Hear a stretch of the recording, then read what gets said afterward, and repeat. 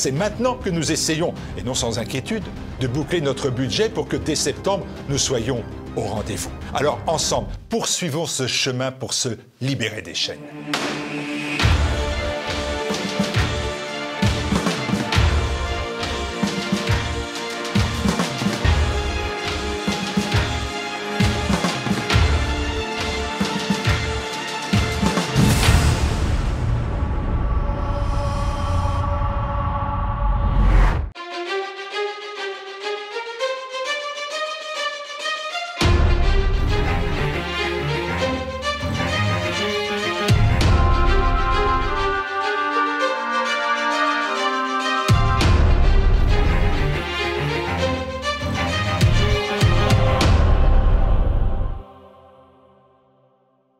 Bonsoir à tous et bienvenue dans Choc du Monde, le magazine des crises et de la prospective internationale de TV Liberté. Un choc, une onde de choc, c'est le moins qu'on puisse dire. La tentative d'attentat contre Donald Trump a stupéfait l'Amérique et dramatisé davantage encore une élection présidentielle déjà tendue, où le sort de la première puissance mondiale, mais aussi peut-être de la paix dans le monde, comme nous allons le voir, se joue. Pour en parler, nous allons euh, nous rendre d'abord à Milwaukee, dans le Wisconsin, où se déroule la Convention nationale républicaine qui vient de désigner officiellement Donald Trump candidat, où se trouve donc Kate Peset, directrice de la Bourse Tocqueville.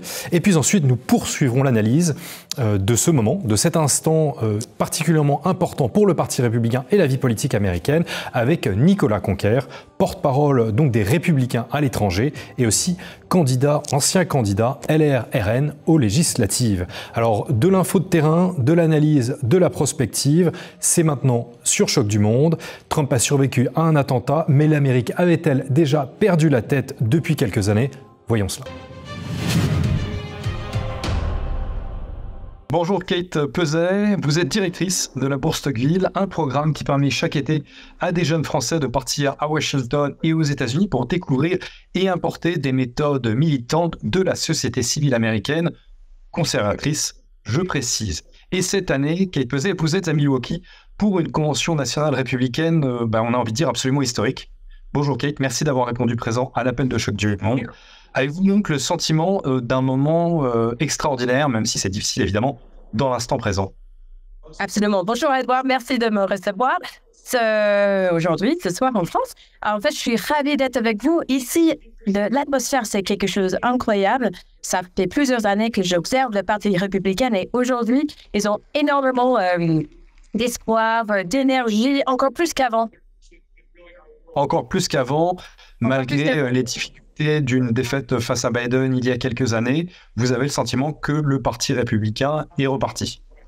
Absolument. En fait, le, ce que Trump a créé, ce, mouvement euh, conservateur euh, est, encore plus fort que c'était avant. En fait, on, a, on voit la fidélité des gens qui ont suivi Trump euh, aux États-Unis. Ici, ils sont encore plus motivés avec les années Biden qu'ils ont vu la descente de leur pays. Donc, ils sont hyper contents de voir, en fait, d'avoir l'espoir que Trump va remonter comme on avait en 2016.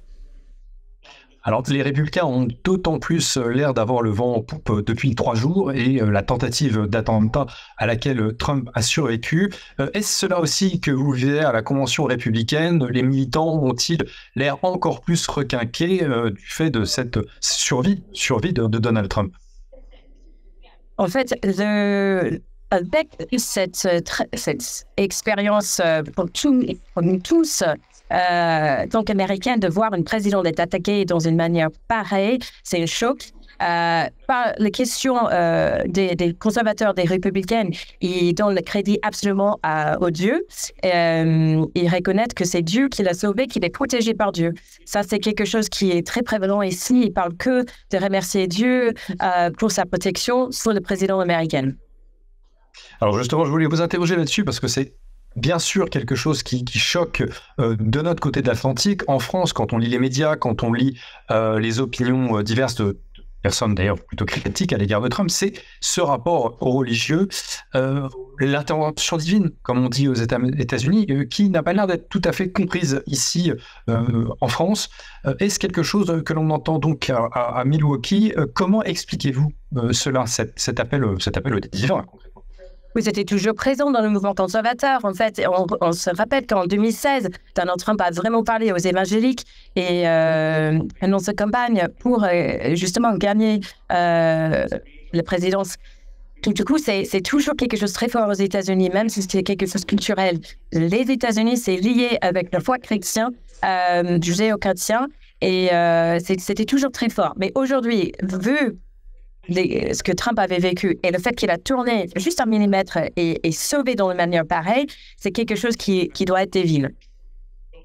Alors, on a, on a l'impression que, les Américains, euh, pardon, que les républicains euh, se sentent déjà euh, victorieux ou presque. Je rappelle que les sondages pour l'instant en moyenne sont à 46% pour Donald Trump et à 43% pour Joe Biden, en dépit des difficultés de Joe Biden ces derniers mois. Si on voit les cours, on sent qu'elles se séparent de plus en plus, mais les républicains ne créent-ils pas victoire trop vite, Kate Peset non, je ne crois pas parce qu'après quelque chose pareil, nous avons un président avec un courage pareil qui était euh, qui a reçu une balle euh, sur la tête, qui a remonté avec, euh, déjà, je me méfie des sondages. Je me souviens en 2016, ils avaient dit c'est impossible, ça va être Hillary Clinton, et on voit les résultats. Donc aujourd'hui, ce qu'on voit avec le mouvement après trois jours, avant le, d'assassinat, je veux dire, peut-être c'était plus 55 ans, mais aujourd'hui, avec ce qui s'est passé, avec le courage qui monte, hier, dans le centre de convention, l'émotion qui était dedans. On avait tout le monde qui pleurait autour de nous. Il n'y a pas de doute que lui, avec aussi son choix de vice-président, va monter en sondage et va gagner la présidence en 2024. Alors justement, sur son choix de, vice-président, donc James D. Vance, qui est le sénateur, de l'Ohio, qui est très jeune, 39 ans je crois. Euh, quel est votre, votre avis sur celui-ci? Il a l'air très trumpiste. Euh, était-ce nécessaire ou euh, était-ce ou est-ce une erreur? Avait-il peut-être plus besoin d'une ouverture vers le centre? D'accord. Euh, c'est un choix intéressant. C'est un choix qui touche aux jeunes, absolument. Parce que voilà, il, est, il a 39 ans. Il avait écrit un livre, Hillbilly. Euh, et aussi, il y avait une série Netflix sur son livre. Donc, en fait, il est, il est avec le, euh, jeunesse populaire. Avec J.D. Vance, qui est très intéressant avec J.D. Vance, il est jeune, il a grandi euh, dans, dans l'Ohio avec, euh, une, la classe moyenne, mais il était à Harvard. Il était avec les US Marines dans les combats, donc il imbibe presque tout ce qu'on cherche euh, dans le mouvement conservateur aux États-Unis. Il est jeune, il est dynamique, il est pro-Trump, en fait, donc il va il va jouer un rôle clé dans la réélection du président. Je crois que c'est un choix intéressant politiquement pour le président et euh, je crois qu'on va attirer beaucoup d'électeurs jeunes et aussi les électeurs de moyenne classe de Rust Belt qui a commencé de tourner, retourner vers les démocrates. Il va revenir grâce à J.D. Vance. Alors, bon, je, le disais en introduction, vous êtes euh, aux États-Unis, d'abord à Washington, ensuite euh, dans le Wisconsin, avec la Bourse Stockville, donc ce programme pour, destiné aux jeunes Français. Qu'apprennent vos fellows, vos boursiers, cette année? Que vous avez donc emmené euh, à la Convention nationale républicaine. Nos lauréats, et, euh, ils sont à Washington et après à Wisconsin, à Milwaukee, pour voir euh, ce qui fait la société civile américaine et le lien avec politique. Donc, du coup, leur ils sont déjà très impressionnés par la gentillesse américaine, par leur accueil chaleureux. L'attitude que tout est possible, c'est grandiose. C'est, on est hors de notre quotidien, donc ça nous pousse à imaginer d'autres choses, ça nous pousse à, tirer vers le haut. Et leur impression, c'est que tout est possible. Ils sont ravis. Ils étaient dans la salle quand Donald Trump est rentré hier. Donc, ils sentent cette émotion américaine. Ils sentent cette euh, possibilité avec la société civile qui travaille avec le politique et comment le droit peut gagner s'ils travaillent ensemble. Nous remercions donc Kate Peset, directrice de la Bourse Tocqueville, pour ses impressions dans le Wisconsin à la Convention nationale républicaine. Nous allons continuer l'analyse avec Nicolas Conquer, qui est porte-parole des Republicans Overseas en France et ancien candidat RNLR aux législatives. Mais avant cela, avant cela, nous allons évoquer euh, le premier entretien exclusif qui a été accordé par Donald Trump après sa tentative d'attentat. Petit résumé. Je devrais être mort, a souligné auprès du New York Post Donald Trump le 15 juillet dans son premier entretien exclusif après la tentative d'assassinat l'ayant visé. C'était une expérience très surréaliste, a résumé le 45e président américain, candidat pour être aussi le 47e. Le médecin de l'hôpital a dit qu'il n'avait jamais rien vu de tel. Il a appelé cela un miracle, a-t-il ajouté, déclarant qu'il aurait été tué s'il n'avait pas penché la tête légèrement vers la droite pour lire un panneau projeté au public sur les immigrés clandestins.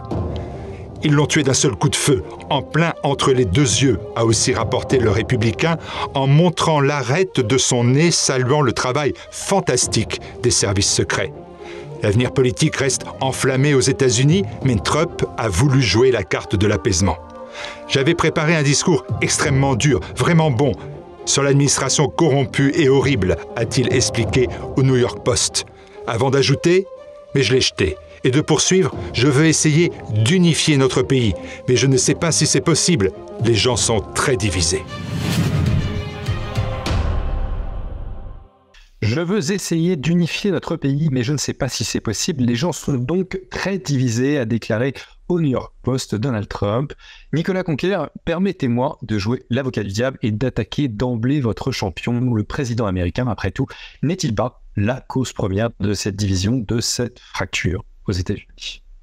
Euh, je pense que c'est pas la peine de se renvoyer la balle. On est dans un contexte qui est très chargé. On le voit, euh, une rhétorique a conduit à des actes violents. Et à quelques millimètres près, on partait euh, d'un candidat à la présidentielle et ancien président qui mourait sur scène devant les caméras du monde entier.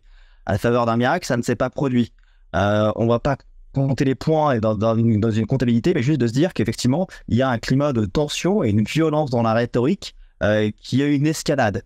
moi, je vais l'avocat de la défense et dire que depuis 2015, à partir du moment où Donald Trump s'est lancé en politique, il n'a eu de cesse d'avoir une rhétorique très agressive et scandaleuse à son encontre. On a voulu le dépeindre à rien de moins qu'un Hitler au teint orange. Euh, on a représenté des scènes de lui euh, dans l'assassinat de César, où César était dépeint en Donald Trump. Il y a des comédiens qui euh, posaient devant, des soi-disant comédiens, hein, qui posaient devant la Maison Blanche avec une tête de Donald Trump. Il y a vraiment une espèce de décomplexion, euh, une déshumanisation de tant Trump que ses, militants. C'est-à-dire que dans son ensemble, il y a une rhétorique qui a été très dangereuse, qui a été alimentée. Et c'était effectivement un, axe de campagne. D'ailleurs, on le voit hein, jusqu'il y a peu, au dernier débat du 27 juin contre Biden et Trump, on le voit, Biden dit de manière vraiment décomplexée, sans jamais justifier que euh, Donald Trump est un dictateur, c'est un péril à la démocratie, et ces mots-là ont une force euh, performative.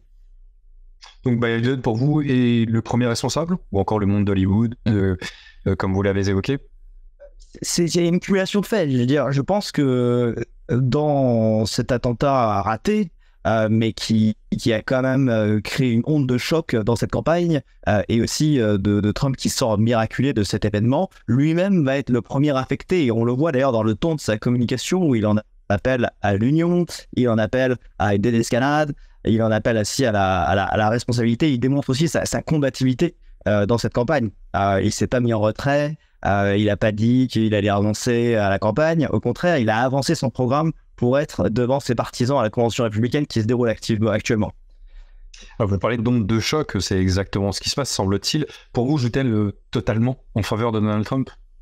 Bah, il a encore un peu tôt pour le dire. Déjà, elle joue en sa faveur parce qu'il est encore vivant, il est encore de ce monde. Donc déjà, ça c'est quelque chose qui, bah, pour nous, euh, est, galvanisant, roboratif, euh, mais également porteur d'espoir. Parce que déjà, euh, du point de vue programmatique et du point de la, santé, si on se replace il y a une semaine, dans le camp de Biden, ils étaient tous en train de voir comment ils allaient le faire sortir de scène pour le remplacer par un candidat démocrate de la 25e heure. Aujourd'hui, Biden était loin d'être favori, Trump était le favori pour l'élection à venir, mais désormais, je ne vais pas être triomphaliste, mais ça va créer vraiment comme un effet drapeau. Euh, et il y a des précédents dans l'histoire. Ronald Reagan, en 1981, il fait l'objet d'une tentative d'assassinat. Euh, il est blessé, il se rend à l'hôpital, il est soigné. Euh, son urgentiste, alors s'il est en train de passer sur le bio, Reagan, qui était très bon pour les esprits de formule, lui demande Rassurez-moi, vous êtes républicain. Et l'urgentiste lui dit Mais ce soir, monsieur le président, tout le monde est républicain. Donc ça, c'est juste anecdote, mais dans les faits, par la suite, Ronald Reagan, à la suite de ça, sa cote de popularité est montée de 20 points dans l'opinion. Donc tout ça pour dire qu'il n'y a pas forcément de schéma qui se reproduisent, mais on le voit dans d'autres dans d'autres scénarios euh, entre guillemets catastrophes, euh, les attentats du 11 septembre et même dans nos pays aussi lorsqu'il y a des attentats, il y a un effet drapeau et il y a un effet euh, de soutien à ce candidat à plus forte raison si il en sort miraculeusement vaillant, intact. On a de manière assez récente aussi au Brésil l'attentat, la tentative d'assassinat de Jair Bolsonaro qui s'est traduit par la victoire aux élections qui ont suivi. Donc, encore une fois, la campagne, elle va être menée. On a un appareil qui est rodé. On a une convention qui se déroule actuellement et qui réunit tout le parti républicain. C'est important de se dire hein, qu'ils euh, étaient neuf au départ avec des lignes complètement différentes. Ce soir, on en parle, euh, peut-être euh, hier, en fonction de quand ça sera diffusé, il y a Nikki Haley, Ron DeSantis, des gens qui étaient les principaux opposants à Donald Trump dans cette campagne. Donc ça montre vraiment cette unité, cette union sacrée. Et ça, là, je parle essentiellement des républicains. La condamnation de la violence et de cet attentat été quasi unanime. Euh, mais ce qui va nous intéresser aussi, c'est surtout comment est-ce que euh, le bloc central, alors encore une fois, il y a des blocs aux États-Unis, parce qu'on parle beaucoup des démocrates et des républicains qui représentent globalement 30% chacun euh, de l'électorat. Il reste 40% qui sont au milieu, qui sont ces indépendants, qui vont osciller d'un côté et de l'autre. Et ces indépendants, est-ce que, est-ce que ça sert Trump ou est-ce que ça sert Biden, ce qui vient de se produire? Est-ce que l'état aussi cognitif et physique de Biden, est-ce que ça sert l'opinion auprès de, auprès de ces indépendants ou est-ce que ça sert Donald Trump? Vous suivez avec beaucoup d'attention donc euh, la convention euh, à Milwaukee.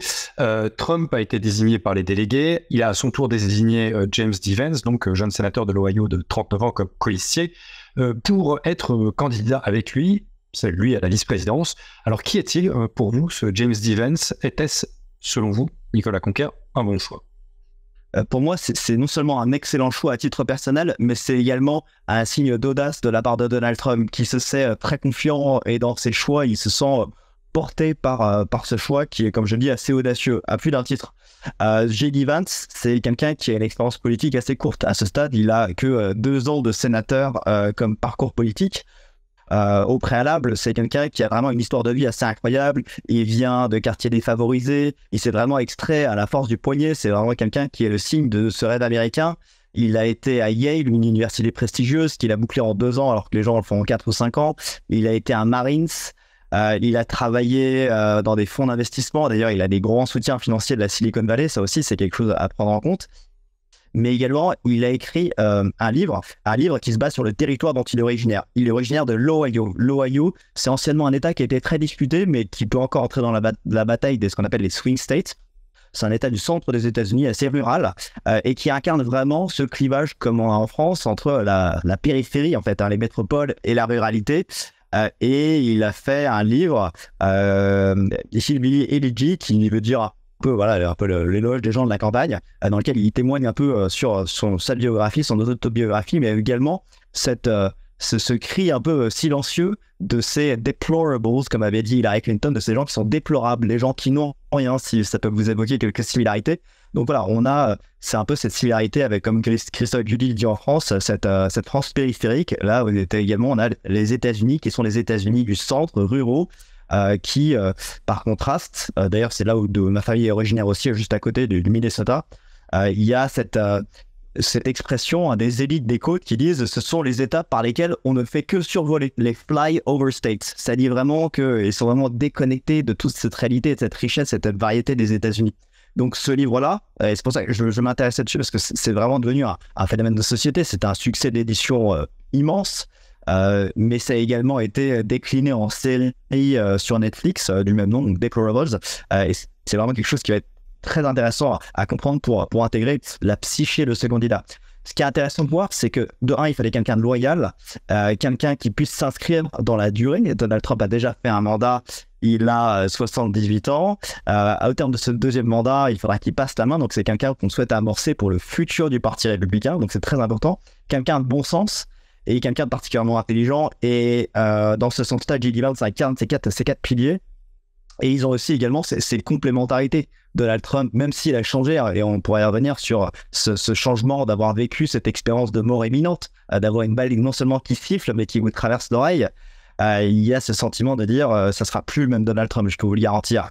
Euh, mais que entre les flamboyances, cette bête de scène incroyable qu'est Donald Trump, J.D. Vance de quelqu'un de, plus pondéré, quelqu'un qui est plus à l'instinct qui serait Donald Trump, quelqu'un qui est beaucoup plus très cérébral comme J.D. Vance. Donc je peux vraiment appeler de, mes voeux ce, tandem, ce, ticket gagnant qui est absolument le, meilleur ticket que j'ai vu de, toute ma jeune existence des Républicains. Alors Joe Biden, vous avez l'air en désaccord avec lui, l'a qualifié de clone de Donald Trump. Oui, bon, il est là. Enfin, je ne sais pas s'il si, pense ce qu'il dit ou s'il a juste lu un prompteur péniblement. Euh, effectivement, euh, il s'inscrit dans ce courant qui est porté par Donald Trump. Et d'ailleurs, lui-même euh, n'en fait pas. Enfin, il n'a pas d'égard vis-à-vis de ça. Il dit J'ai besoin de quelqu'un de loyal, d'une part. Enfin, c'est entre les lignes. C'est quand même le rôle d'un vice-président. Donc, en fait, davantage, par exemple, que son ancien VP, Mike Pence, avec qui les liens se sont distordus, c'est le moins qu'on puisse dire, puisque Pence a critiqué Trump à la fin de sa présidence, au minimum. on a en fait un sentiment d'un resserrement des Trumpistes avec les Trumpistes. Mais est-ce vraiment positif? C'est vrai qu'on aurait pu imaginer, il y avait différentes voies qui étaient envisagées et envisageables. Aujourd'hui, il y a même Nikki Haley qui intervient ce soir sur les strates de la Convention républicaine. On aurait pu dire, on donne le change, on prend euh, quelqu'un de modéré, comme ça, euh, on, conforte un petit peu cette, cette base un peu modérée euh, des républicains. Mais en fait, il en est rien. Je veux dire, là, ça témoigne, et comme je disais, c'est de l'audace, c'est un témoignage de force. Quand on est dans les investissements, on dit qu'on est dans le bullish, vous savez, le marché boursier qui, augmente. On se dit, bah, là, je suis en position de force, je peux choisir quelqu'un parmi mes rangs et qui, encore une fois, reprend les différentes qualités que je vous ai exprimées au préalable et qui va vraiment s'inscrire dans, cette dynamique-là. Donc, je, pense réellement que c'est un choix naturel, un choix audacieux. On a le magnat de l'immobilier new-yorkais, la star de la télé-réalité, versus celui qui est de la campagne, qui s'est fait à la force du poignet, euh, qui est en phase vraiment avec euh, l'école blanc, mais qui a également euh, un très fort soutien de chez les vétérans par les grands financiers de la Silicon Valley. Donc on arrive vraiment à avoir un, un, tuilage vraiment exceptionnel dans ce, dans ce ticket. Alors, on a, le sentiment, Nicolas Conquer, que, Trump est, insubmersible, hein, qu'on l'aime ou qu'on l'aime pas. en dépit des scandales, des attaques, de l'affaire de la crise X, Stormy Daniels, il est là, il est toujours soutenu par ses partisans qui sont qui sont euh, tels qu'ils sont, euh, vraiment brut de décoffrage, euh, et, paradoxalement d'ailleurs, par aussi par une population très moraliste. comment expliquez-vous cela, Nicolas Conquer bien effectivement, Donald Trump, de par sa, personnalité qui s'est construite au fil des ans, a montré que ce n'est pas quelqu'un qui, baissait les bras. D'ailleurs, jusqu'à dernièrement, lorsqu'il était dans cette persécution judiciaire qui était motivée politiquement, il était avec son slogan Never Surrender jamais je ne, jamais je ne baisserai les bras. Il y avait déjà cette, iconographie euh, du point levé lorsqu'il sortait du tribunal, il s'exprimait pas, mais la simple force de son geste exprimait voilà toute cette combativité. Euh, je pense qu'effectivement, euh, c'est quelqu'un sur lequel c'était une des personnalités les, plus préférées des États-Unis quand des Américains, lorsque c'était une star de télé-réalité. Euh, tout le monde voulait avoir son soutien et ses financements du côté démocrate dans le passé. À partir du moment où il a choisi de se lancer en politique et du côté républicain, c'est là où tout lui est tombé dessus. Vous imaginez, on a voulu euh, prêter euh, des ingérences russes, toutes sortes de scandales qui ont été débunkés les uns après les autres. Mais effectivement, on a cherché dernièrement à, tenter à, ses actifs face à, sa, santé financière, à le mettre derrière les barreaux, à lui faire des procès, des procès en destitution, mais qui se sont tous soldés par des échecs. Et encore, pas plus tard qu'hier, des procédures le concernant, concernant des archives classifiées, euh, qui en fait, une procédure qui était déjà extrêmement bancale, ont été complètement récusées euh, sur la base euh, d'un vice de procédure et d'un conflit de, pouvoir dans le fait que le juge qui avait été nommé par le ministre de la Justice Joe Biden n'avait pas été validé par le Sénat et donc ça laissait à penser que c'était motivé politiquement. Donc effectivement, Donald Trump, il a eu des hauts, il a eu des bas, il en est toujours revenu. Et là, on le voit, pas plus tard que dimanche, il tombe sur scène, il y a une balle qui lui transperce l'oreille, il se relève le point levé. Donc c'est vraiment ça euh, qui incarne aussi euh, ce, comeback euh, légendaire auquel ont besoin de croire les Américains et qui montre que c'est vraiment la personne qui sera la plus à même de pouvoir conduire le pays. Malgré toutes les différences que vous pouvez avoir avec lui, déjà, il faut lui reconnaître ces qualités objectives-là. Derrière, si vous voulez rentrer sur le terrain de la morale, je vous laisse aller regarder ce qui se passe de l'autre côté. Et en fait, le choix va être vite vu. Je pense qu'en dépit euh, soit des affaires, euh, personne n'est parfait. C'est pas un concours de sainteté, une élection à la présidence. Je pense qu'il y a effectivement euh, des gens qui ont des cas de conscience, mais qui se disent c'est soit avec Donald Trump, soit ce qui nous attend à côté avec, avec tout le Parti démocrate qui est vraiment noyauté par une frange d'extrême gauche wokiste, c'est-à-dire que des gens qui, qui cherchent à, à, saper la culture, la langue, euh, tout le, projet, la, fondation des États-Unis, euh, de par leur idéologie qui est absolument néfaste. Alors vous évoquez la, prochaine présidence, euh, donc un peu de prospective, Nicolas Conquer. Si Trump gagne, à quoi sa présidence, son mandat ressembleront-ils selon, disons, pour les États-Unis et puis pour le monde sachant bien sûr que les relations entre Washington et l'Europe, même avec un président isolationniste, ne sont pas toujours très simples, ne sont pas toujours dans l'intérêt des Européens. L'avantage, c'est que Trump, il a déjà un bilan. Euh, si je vous ramène 8 ans en arrière, on était là à vous annoncer que ça allait être euh, le chaos absolu, la faillite en succession. Enfin voilà, juste, pour dire que euh, on a déjà vu à l'œuvre et on a vu une grande prospérité et on a vu une grande stabilité dans le monde.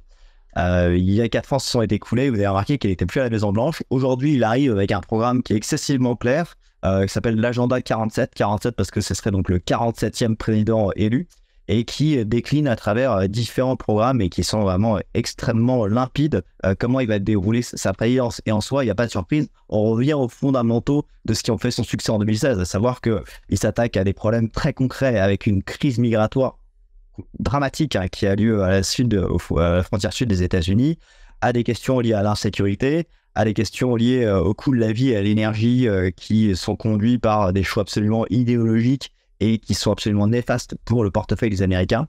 Donc, euh, il y a une présidence qui euh, va se concentrer d'ailleurs sur le motto, le motto, pardon, la devise America First, c'est-à-dire qu'il est mandaté par les États-Unis et les Américains pour conduire ce pays.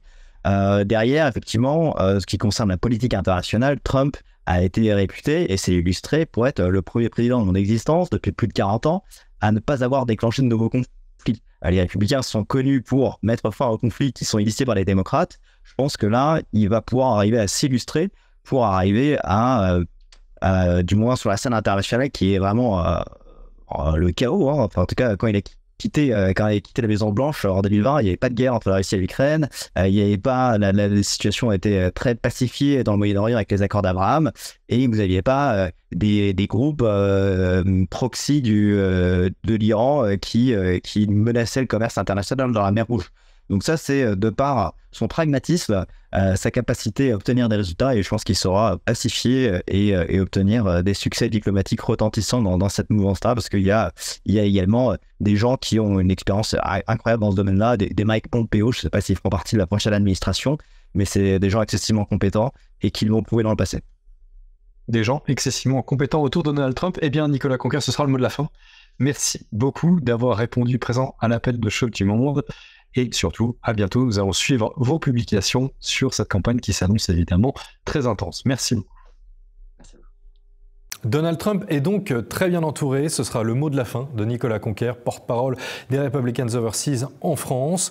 Merci beaucoup d'avoir suivi euh, ce nouvel épisode de Choc du Monde, cet épisode américain de Choc du Monde. Surtout, surtout, n'oubliez pas de commenter et de partager cette vidéo. C'est vous qui faites le succès de Choc du Monde. Les retours, vos retours sont très flatteurs depuis que l'émission existe. Nous en sommes très touchés. Nous vous remercions et je vous souhaite un bel été.